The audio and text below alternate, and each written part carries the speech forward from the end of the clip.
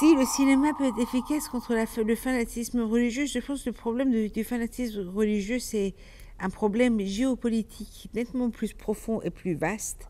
Et euh, si vous voulez, je peux vous faire une exposé de une heure, mais un jour de ma vie, j'ai décidé que je n'allais pas être géopoliticienne, que je voulais être artiste.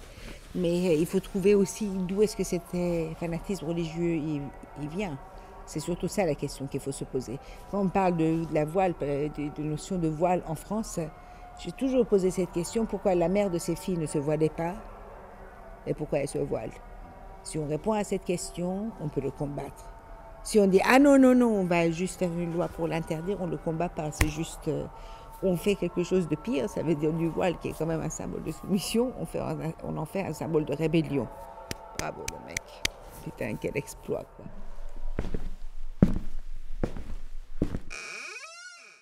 Mais est-ce que ça a eu un impact sur moi? Euh, euh, Pas vraiment. Si, et vous savez, j'étais très mécontent que je, je, monte le film.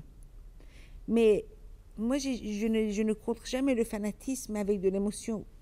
La base du fanatisme, c'est l'émotion. C'est pas du tout le pragmatisme, c'est pas, pas la logique. Et c'est des gens émotionnels. Vous appuyez sur le bouton de l'émotion et vous avez des gens qui crient et qui hurlent et qui vont faire des guerres c'est de l'émotion. Donc si vous rentrez dans le truc émotionnel, vous êtes foutu. Parce qu'eux, ils sont toujours sans, sans, pas devant vous.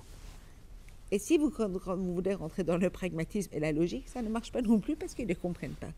Donc il faut juste ne pas répondre. Moi, à chaque fois qu'ils ont fait des trucs, j'ai toujours dit, je suis une vraie démocrate, les gens, ils ont le droit de me, de me détester, c'est leur droit, très bien.